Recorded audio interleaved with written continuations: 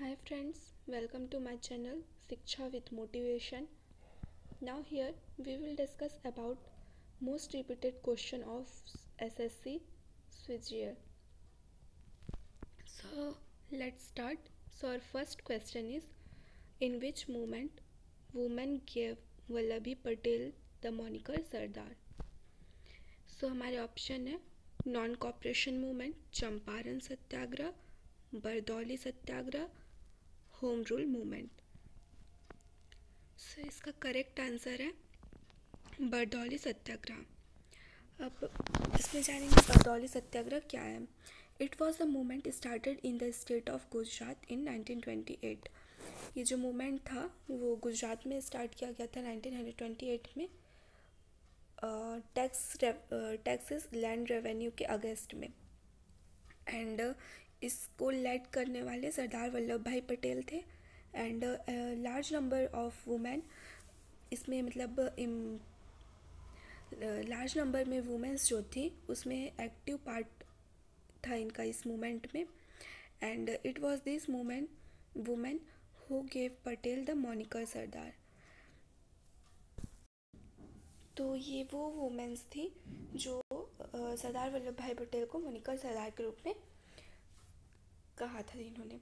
After effects of Bardoli Satyagraha we fearing things could go out of hand the government set up the Maxwell Broomfield commission to look into the matter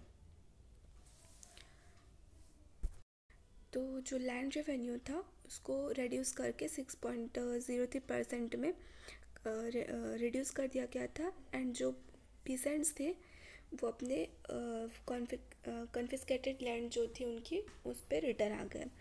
And Patel emerged as a national leader after the success of the Bardoli Satyagraha Bardoli Satyagraha के बाद जो सरदार वल्लभ भाई पटेल थे, वो एक national leader के रूप में सामने आए। And he showed his remarkable organisation skills and वो जो उनकी स्किल्स थी, वो उन्होंने सो की।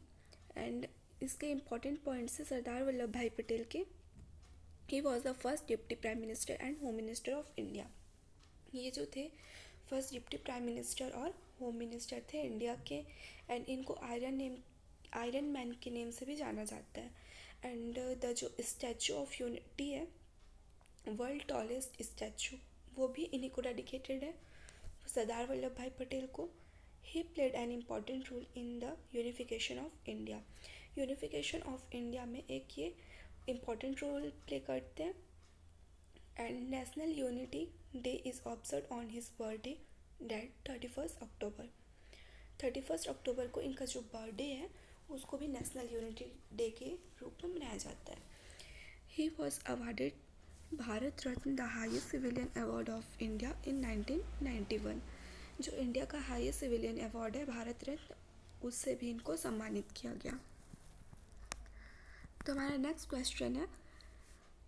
Dash produces energy in plant cells using the respiratory system मतलब इसमें जो एंड uh, हमारा ऑप्शन है nucleus mitochondria ribosome chloroplast and जो इसमें से जो ऑप्शन है इसमें से कौन सा पार्ट जो एनर्जी uh, प्रोड्यूस करता है सेल्स में प्लांट सेल्स में रिस्पिरेटरी सिस्टम के थ्रू तो हमारा करेक्ट आंसर है mitochondria mitochondria produce energy in plant cells using the respiratory system तो माइटोकॉन्ड्रिया जो है, वो एनर्जी प्रोड्यूस करता है प्लांट सेल में रेस्पिरेटरी सिस्टम के को यूज़ करते हुए. तो इंपॉर्टेंट पॉइंट्स है माइटोकॉन्ड्रिया के. Mitochondria is a double membrane organelle double membrane एक पतली सी लेयर होती है। कि माइटोकॉन्ड्रिया की, जो डबल मेम्ब्रेन होती है and it is a semi autonomous and can control some of its functioning its number varies in plant and animal cells. Plants have chloroplast, nucleus, mitochondria, and ribosomes.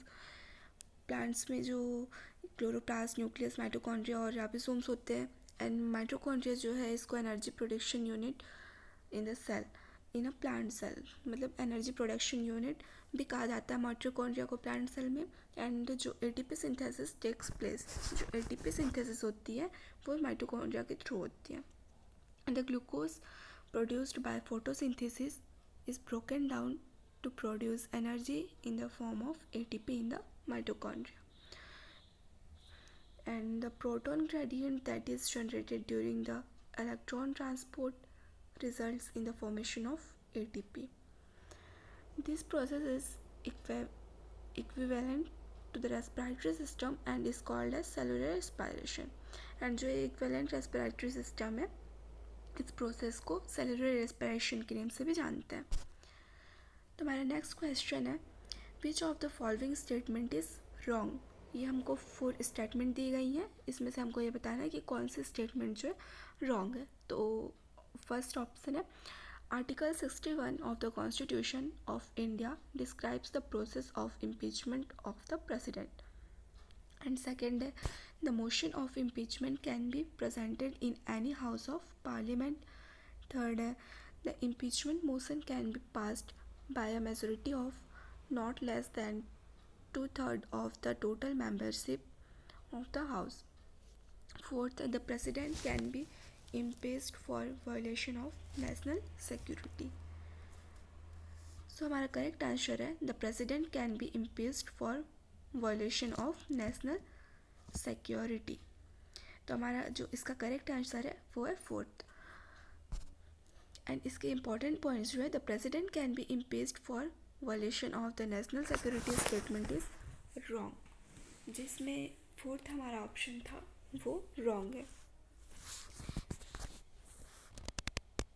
जो president होता है वो impeached of impeached for violation national security के लिए violation को impeached करता है, जो कि ये स्टेटमेंट रॉन्ग है.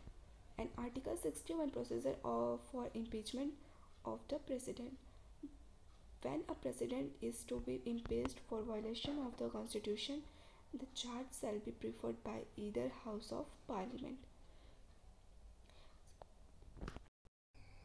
And such resolution has been passed by a majority of not less than two thirds of total membership of the house. Two third of total membership मतलब उसमें नॉट लेस देन जो majority होती है pass करने की resolution उसमें two third membership होनी चाहिए हाउस से and article sixty one of the constitution of India describe the process of impeachment of president जो आर्टिकल सिक्सटी वन है कॉन्स्टिट्यूशन का, वो इम्पीचमेंट ऑफ़ प्रेसिडेंट का प्रोसेस को डिस्क्राइब करता है and motion of impeachment can be presented in any house of parliament जो motion of impeachment है, वो पार्लियामेंट के किसी भी हाउस को प्रेजेंट करता है। The impeachment motion can be passed by a majority of not less than two thirds of the total membership of the house तो जो मोशन ऑफ़ मतलब इम्पीचमेंट मोशन है वो मेजोरिटी उसमें टू थर्ड होनी चाहिए, जो भी पार्लियामेंट हाउस के मेंबरशिप से टू थर्ड होनी चाहिए। नेक्स्ट एडिशनल इंफॉर्मेशन जो है, ये प्रेसिडेंट के क्या रूल्स होते हैं आर्टिकल थ्री सिक्सटी फाइव में क्या होता है, ये सब इस पर बताया गया है। And ground of imposition the rule the president rule can be proclaimed under article 356 on two grounds one mentioned in article 356 itself and another in article 365 तो government of a state cannot be carried on in accordance with the provisions of the constitution हमारा next question है which state has become the first state to launch semiconductor policy in July 2022 कौन सा वो state है? First state जो, जिसने semi conductor policy को जुलाई में लॉन्च किया। फ़र्स्ट स्टेट तो ऑप्शन है गुजरात, मध्य प्रदेश उड़ीसा आसम। तो हमारा करेक्ट आंसर है Gujarat. The Gujarat government on 27 July 2022 announce a dedicated Gujarat Semiconductor Policy 2022 to 2027 तो गुजरात की गवर्नमेंट ने 27 जुलाई को सेमीकंडक्टर पॉलिसी को लॉन्च किया है। With this Gujarat has become the first state in the country to have dedicated semiconductor policy country का first state है जिसने सेमीकंडक्टर पॉलिसी को स्टेट पे लॉन्च किया this new policy offers a slew of incentives and subsidies to manufacture semiconductors the policy was announced by Gujarat CM Bhupendra Patel जो policy थी, वो गुजरात के सीएम जो भूपेंद्र पटेल थे, उन्होंने अनाउंस की थी। एडिशनल इंफॉर्मेशन है Singapore based I G S S ventures a leading player in the semiconductor technology space, has signed an agreement with the Tamil Nadu. Government of establishing a semiconductor park. तो जो तमिलनाडु की government है, उसने semiconductor park का establish करने को जो semiconductor technology space है, इससे उन्होंने अपने स्टेट पे पार्क लॉन्च करने की बात कही है। Gujarat is a state along the western coast of India western coast का स्टेट है, जो है गुजरात। इट्स कोस्ट जो उसकी कोस्ट लाइन है, वो सिक्सटीन हंड्रेड किलोमीटर है, जो कि लॉन्गेस्ट इन द कंट्री जो कि कंट्री में सबसे बड़ी है। Most of which lies on the Kathiawar peninsula जो मोस्ट ऑफ़ द पार्ट है, वो लाइज काठियावाड़ प्लेटू में आता है। गुजरात की कैपिटल है गांधीनगर एंड गवर्नर जो है यहाँ के आचार्य देवव्रत है and chief minister Bhupendra Bhai Patel है और फॉर्मेशन मतलब गुजरात का जो फॉर्मेशन है, वो वन मई 1960 को हुआ। तुम्हारा नेक्स्ट क्वेश्चन है who among the following was the adviser of Akbar who was often known as the minister of home affairs of Akbar's court तो ऑप्शन हमारे राजा तो तोदारमल सेकेंड है राजा मान सिंह फ़र्स्ट थर्ड है Fakir Aziaodin and fourth है मुल्ला दो प्याजा तुम्हारा correct answer है Mulla Do Piyaza Mullah the Piazza is often cited as the minister of home affairs of Akbar's court. जो ये मुल्ला दो प्याजा थे, ये अकबर कोर्ट के होम अफेयर्स के मिनिस्टर थे मिनिस्टर थे। The person in this position is in charge of the country's internal security, namely the policy force. जो इस पोजीशन में पर्सन थे उन्होंने कंट्रीज़ की इंटरनल सिक्योरिटी के चार्ज पे पुलिस फोर्स को अनाउंस किया। He acted as an adviser to Akbar however many scholars believe that Do Piyaza is a fictional character name तो हमारा नेक्स्ट क्वेश्चन है ये. Name the place in India where the bay of Bengal the Arabian sea and the Indian ocean met तो India पे ऐसा कौन सा place है जहाँ पे bay of Bengal Arabian sea and Indian ocean सब मिलते हैं? तो हमारा करेक्ट आंसर है Kanyakumari Kanyakumari is the southern most tip of mainland India ये हमारा सदर्न मोस्ट टिप है इंडिया का, जहाँ पे इंडियन ओशन अरेबियन सी और बे ऑफ़ बंगाल मिलते हैं। ये कोस्टल टाउन है इस तमिलनाडु का सदर टिप पे। And Kanyakumari is a border on the west, east and south of the Laccadive sea. It falls a coast line seventy seventy one point five kilometre stressed on the three sides. Thus we can say that the place in India where the bay of Bengal Arabian sea and India Indian Ocean meet is Kanyakumari. And our next है। Indira point क्या है? Indira point is the southern most point of the Indian territory. Indian territory का southern most point है Indira point. It is a village in the Nicobar district of great Nicobar island of Andaman and Nicobar island in India Andaman and Nicobar island जो है India में, उसमें ये Nicobar district है। Great Nicobar island पे. And second है Nagercoil Nagarkoil is a city and administrative headquarter of Kanyakumari district in Tamil Nadu. ये administrative headquarter है कन्याकुमारी में तमिलनाडु पे. एंड नेक्स्ट है Rameswaram Rameswaram is a town on Pamban island in the southern east Indian state of Tamil Nadu Tamil Nadu में Pamban island में रामेश्वरम एक town है। Rameswaram temple is renowned for being a part of one of the twelve jyotirlingas lingam of light of lord Shiva in India Rameswaram temple जो है, बारह ज्योतिर्लिंग में से एक ज्योतिर्लिंग यहाँ पे है, जो कि भगवान शिव को समर्पित है। And this temple was build during twelfth century by Pandya dynasty ये जो मंदिर है, वो ट्वेल्थ सेंचुरी में पांड्या डायनेस्टी के थ्रू बनाया गया हमारा नेक्स्ट क्वेश्चन है। Which of the following cities of the Indus valley civilization was divided into three parts the citadel a middle town and the lower town तो हमारा ऑप्शन है Mohan Mohenjodaro Kalibangan Lothal and Dholavira. हमारा करेक्ट आंसर है Dholavira. The town in Indus valley civilization was divided into two parts citadel और acropolis and the lower town तो India civilisation है उसको two parts में डिवाइड किया गया था सिटाडल और एग्रोपोलिस एंड लोअर टाउन पे।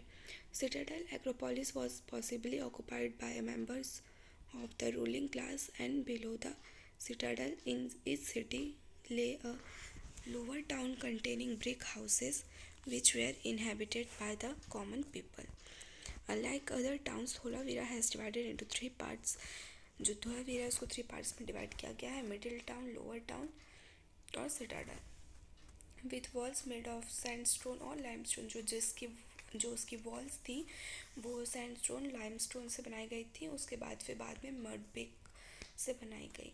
मैनी अदर हड़प्पा साइट्स जो हड़प्पा साइट्स में से बहुत सारी जगह पे मड ब्रिक से जो वॉल्स है, वो बनाई गई थी.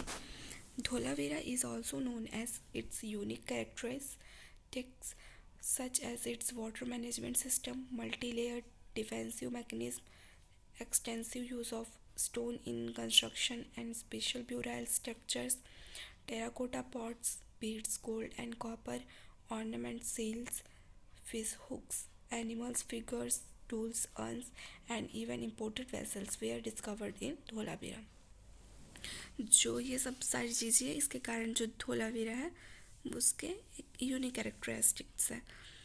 And it was discovered in 1968 in 1968 में डिस्कवर्ड किया गया था?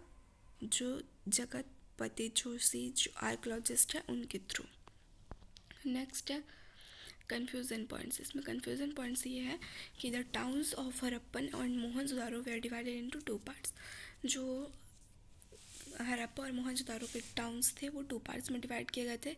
Citadel for the ruling class and the lower town for common people जो लोअर टाउन था, वो कॉमन पीपल के लिए था और जो सिटाडल था, वो रूलिंग पीपल के लिए था, जो वहाँ पे रूल करते थे उनके लिए। तो Dholavira was first discovered by archaeologist J P Joshi in 1968 तो धोलावीरा जो है first archaeologist J P Joshi के थ्रू डिस्कवर्ड किया गया था। Excavation at Dholavira started on 35 years later in 1990 under RS Bist of Archaeological Survey of India. तो 1990 में R S Bisht के through archaeology survey of India के ए एस आई जो है, उसके थ्रू ये पता लगाया गया। अब इसमें एडिशनल इन्फॉर्मेशन है Mohenjodaro the name of Mohenjodaro is thought to mean the dead mount वहाँ पर मोहन मोहनजोदारो का मतलब होता है the dead mount Mohenjodaro was discovered in 1922 by R D Banerjee. जो मोहन मोहन मोहनजोदारो है, वो 1992 में डिस्कवर्ड किया गया था राखल दास बनर्जी के थ्रू नेक्स्ट है Kalibanga a plough field a wooden furrow seven fire altars in a row bones of camels were discovered in Kalibanga.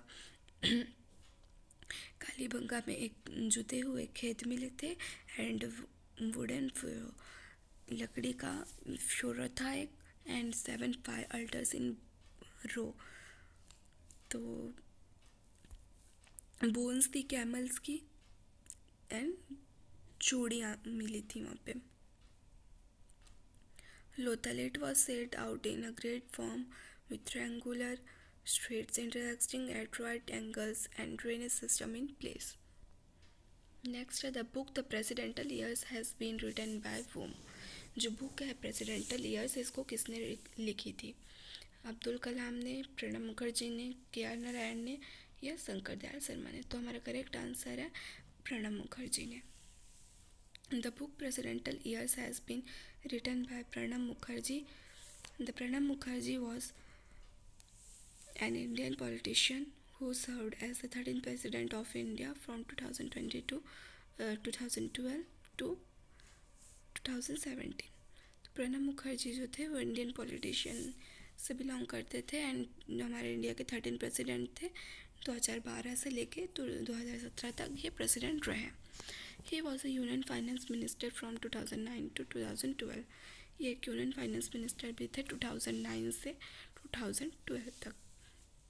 He served as the 13th President of India from 25th July 2012 to 25th July 2017. तो ये thirteen president serve किए गए 25 जुलाई 2012 से लेके 25 जुलाई 2017 तक He was awarded India's highest civilian honor, the Bharat Ratna, in 2019 by the President of India, Ramnath Kovind. इनको India का जो हाईएस्ट सिविलियन अवार्ड है, भारत रत्न, वो मिला वो दिया गया था 2019 में रामनाथ कोविंद के द्वारा। The presidential years give a fascinating account of how one of the country's most respected veteran politicians perceived the functioning of Rashtrapati Bhavan and responded to tumultuous events by the country's first citizen leaving behind a legacy that will be a hard to match.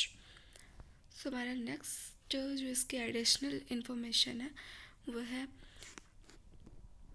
Abdul Kalam के द्वारा जो book लिखी गई थी, वो है wings of fire ignited minds and turning points और, जो के आर नारायण थे, उनके द्वारा जो बुक लिखी गई थी, उसका नेम है image and insights and Nehru and his vision and Shankar Dayal Sharma के द्वारा जो बुक लिखी गई थी, उसका नेम है चेतना ka Srot Deshmani and eminent Indians इसमें जो मिस्टेक पॉइंट्स है, वो है my presidential years was written by R Venkataraman जो प्रेसिडेंटल ईयर्स बुक है माई प्रेसिडेंटल ईयर्स वो आर वेंकट रमन के द्वारा लिखी गई थी।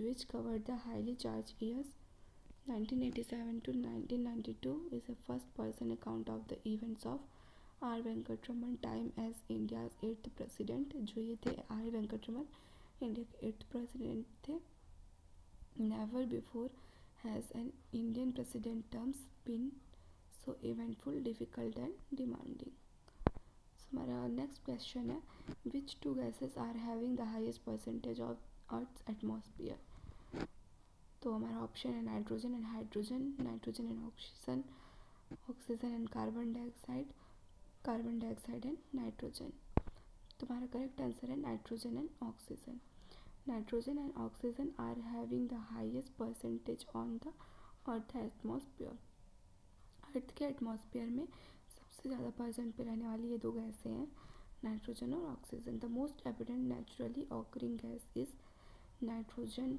N2 which makes up about 78 percent of air जो कि नाइट्रोजन गैस है एन टू हमारे एटमॉस्फियर में 78 परसेंट एयर में प्रेजेंट है. एंड ऑक्सीजन जो है सेकंड एबिडेंट एबेंडेंट गैस है, जो कि 21 परसेंट प्रेजेंट है. और जो इनर्ट गैसेस है आर्गन जो थर्ड मोस्ट एबिडेंट गैस है 0.93 परसेंट प्रेजेंट है एयर में. Trace amounts of carbon dioxide, methane, water vapor and neon are some of the other gases that make up the remaining 0.1 percent. तो 0.1 percent ये सारी gases जो हैं carbon dioxide methane water vapour neon ये सब सारी present है तो हाइड्रोजन जो है is found in a great quantities on earth combined with other elements great quantities में मतलब लार्ज क्वांटिटीज़ में अर्थ में पाया जाता है, जिससे अदर एलिमेंट्स कंबाइन होते हैं such as in water and hydrocarbon जैसे कि वाटर और hydrocarbons but it barely present in our atmosphere which contains just zero point zero zero five percent the earth in earth atmosphere seventy eight percent of nitrogen जो earth का atmosphere है, वो approximately seventy eight percent of nitrogen से मिलकर बना हुआ है। Global background concentration of carbon monoxide range between zero point zero six and zero point one four M G M three and C O two makes up only about zero point zero four of the atmosphere जो carbon dioxide है, वो zero point zero four percent atmosphere में present है और water vapour जो है, वो zero से लेके फोर परसेंट तक प्रेजेंट है। तो हमारा नेक्स्ट क्वेश्चन है which is the largest river of peninsular India peninsular India की सबसे लार्जेस्ट रिवर कौन सी है? ऑप्शन है नर्मदा, कावेरी, गोदावरी, महानदी। तो हमारा करेक्ट आंसर है Godavari. The largest river in peninsular India is Godavari and thus it is named Vriddha Ganga ये लार्जेस्ट रिवर है पेनसुला इंडिया की, इसलिए इसका नाम वृद्ध गंगा भी रखा गया है। It is the second longest grey water course in India it is a seasonal river that usually dries up during the summer and widens during the monsoon ये सीजनल रिवर है जो कि समर और विंडनेस मानसून के time में सूख जाती है। This rivers originated from Trimbakeshwar near Nashik in Maharashtra ये जो रिवर है, इसका ओरिजिनेटिंग पॉइंट है नासिक महाराष्ट्र में है। वहाँ पे त्र्यंबकेश्वर नाम की जगह है। वहाँ से ये निकलती है। त्र्यंबकेश्वर एक ज्योतिर्लिंग भी है, बारह ज्योतिर्लिंगों में से। The Godavari basin extends over the states of Maha, Maharashtra. Telangana, Andhra Pradesh, Chhattisgarh, Odisha additional to smaller parts in Madhya Pradesh, Karnataka and the union territory of Puducherry जो गोदावरी की बेसिन है, ये सारे स्टेट्स को touch करती हैं। अब इसमें नर्मदा जो है, वो अमरकंटक से निकलती है मध्य प्रदेश में एंड जो कावेरी नदी है, वो ताला कावेरी नाम की जगह से निकलती है कर्नाटक से एंड महानदी जो है, वो सिहावा पर्वत से निकलती है छत्तीसगढ़ से। सो so, हमारा क्वेश्चन जो थे वो सारे ख़त्म हुए। सो सो ये जो सारे क्वेश्चन हैं वो S S C G L के लिए most important and repeated question है।